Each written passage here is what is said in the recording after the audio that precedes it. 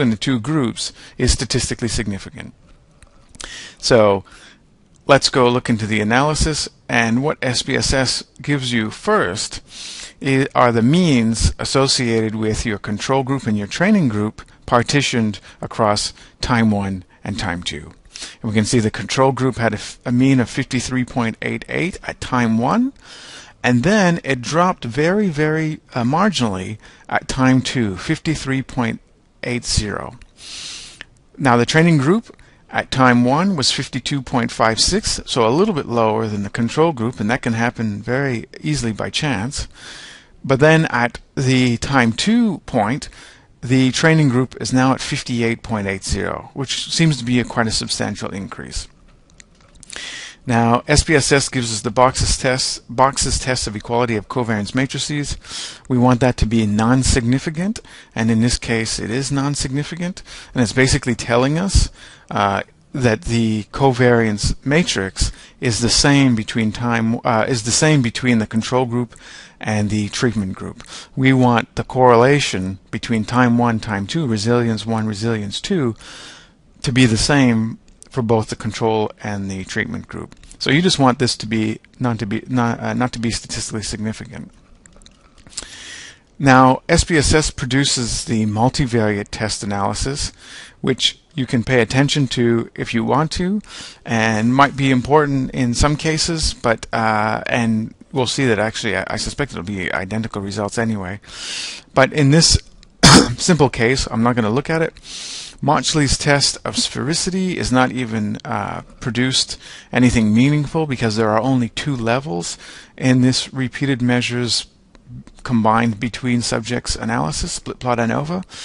So that's expected only when you have more than two levels. So here we come to the crux of the analysis and what is important here in particular is the pre-post uh, resilience by group interaction. So this section here is the most important in the split plot ANOVA. It's not the pre-post resilience. This section here, which has an F value of 113.14, is just telling us that the both groups combined increased in resilience. Uh, but what we want to see is that there's an interaction. We want to know that the treatment group increased more than the control group. And that is an interaction when the main effect uh, is dependent, the, the magnitude of the main effect is contingent upon another variable. And in this case, it's dependent upon another variable called group. So we want pre, pre-post resilience by group interaction to be statistically significant, and it is. We've got an F value of 119, and the significance value here is um, less than uh, 0.001. And that is the crux of the analysis. Uh, I w- I wouldn't spend a lot of time on the other uh, output. Uh, you could report the main effects if you like, but in my opinion, uh, in a lot of cases when the interaction is statistically significant, it is, especially when it's only a 2 by 2, it is arguably meaningless to report the main effects and certainly to interpret them. Because to say that uh, in the table that the main effect for time 1, time 2 resilience is statistically significant is true, but it's misleading because it's only true for the treatment group. And that's displayed in this chart here. It's only the green bar here, which is the training group, that increased. It was not the control group. And that's why that main effect that is statistically significant is, in my opinion, meaningless. Now, in another video that I did on this exact data, I analyzed the data with a program called Statistica, and Statistica produced some standard error bars associated with the means here.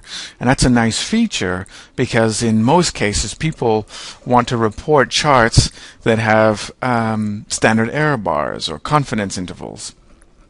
And SPSS just does not do this. It's just, from what I can tell, it's impossible to do it. I'd love to hear from somebody that's figured out how to get SPSS to produce a split plot uh, profile plot that includes uh, standard errors or confidence intervals uh, like some other programs do. Um, but I've you know tried various things. I can't figure out how to get it to be done. Uh, but I, I will note that uh, it's complicated to do so. And if you're not interested in this part, if you understand the analysis, you can turn this off now, the video. But the complication with adding standard error bars, I can understand a little bit why SPSS doesn't do it. And it's because the standard errors associated with the means is not so simple as using these standard errors. Here we got the group by pre-post uh, table, ma estimated marginal means it's not so simple as to put these standard error values and these confidence uh, intervals uh, into a chart because the statistical significance of an analysis that's based on a within subjects design uh, incorporates the correlation between the time 1, time 2, or time 3 variables. And that correlation reduces the error term in the analysis of variance. So these standard errors are just based on the generic way of calculating a standard error for a mean.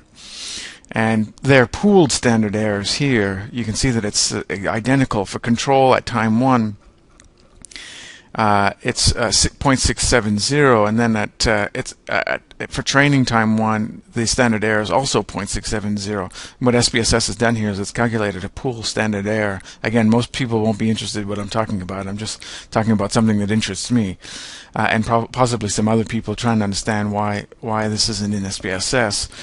Uh, and based on some research, I've discovered that part of the problem is that uh, calculating individual standard errors for the means that incorporates the covariance between the uh, within subjects variables is not easy. And um, maybe it is easy it's not especially complicated but you know SPSS just hasn't gone to the lengths of actually starting to do so um, and I suppose I'm a bit reluctant to do it as well, even though other programs are doing something based on, I suspect, just the regular old standard errors. That could be misleading, incorporating that into a chart. Anyway, so this is how to do a split plot ANOVA in SPSS. It's a great analysis, one of the most use useful uh, statistical analyses going around. So if you can understand how to do that in SPSS uh, and do it properly, uh, you're much the wiser. Uh, thank you for listening. Bye.